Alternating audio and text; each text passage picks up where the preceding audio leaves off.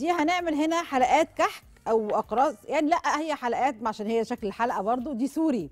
يعني عندي هنا كوبايتين دقيق سميد كوبايتين دقيق أبيض نص كوباية لبن بودرة نص كوباية زيت نص كوباية مية نص كوباية سكر. بصوا المقادير سهلة إزاي.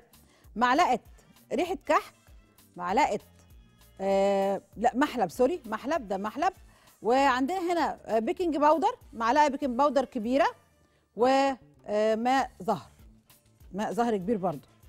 نعمل إيه؟ بص بقى. هنعجن عادي خالص. كوبايتين دقيق سميد. كوبايتين دقيق أبيض. معلقة كبيرة baking powder معلقة كبيرة baking powder آه المحلب. معلقة محلب كبيرة برضو. هم ليهم توابل حلوة كده. آه نص كوباية سكر بودرة. آه لبن بودرة لبن بودرة ونص كوباية سكر عادي. كله نصاص يعني هم كوبايتين دقيق سميد على كوبايتين دقيق أبيض والباقي كله نصاص بقى. نص السكر نص الزيت نص لبن بودرة نص مية. ماشي؟ وآدي الزيت. لا بس اخد الواد الجافه دول كده إيه؟ معلقة مية زهر نص كوباية زيت نص كوباية مية. والمية دي هخليها في الآخر عشان أزودها شوية شوية.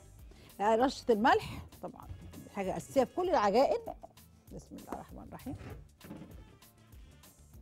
أقلب كل المواد الجافه دي على بعض.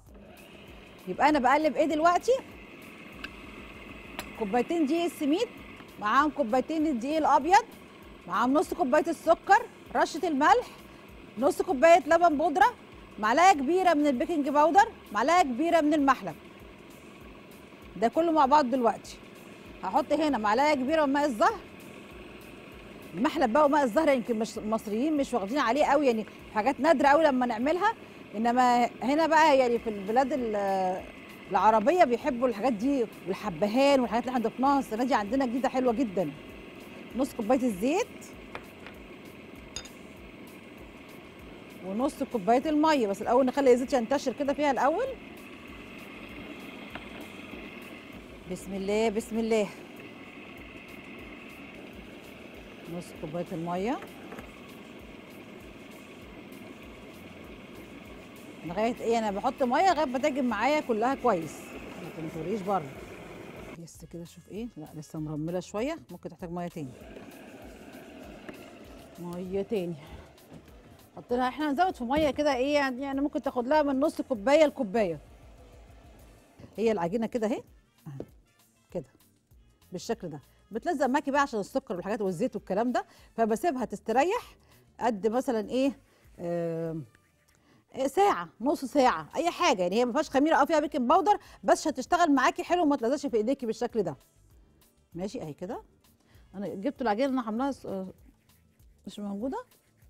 طيب عامة هي دي لازم نعمل إيه؟ لازم نلزق نحط الصينية نحط لها زيت عشان هي بتلزق شوية. فندهن الصينية بالزيت. معانا ندى.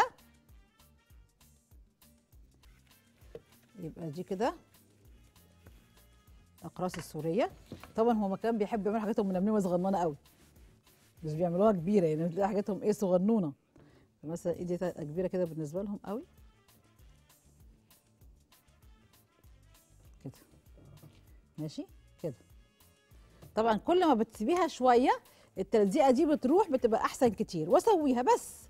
بسيطة سهلة شكل جديد وطعم جديد عندك في البيت مع حلويات العيد. كده؟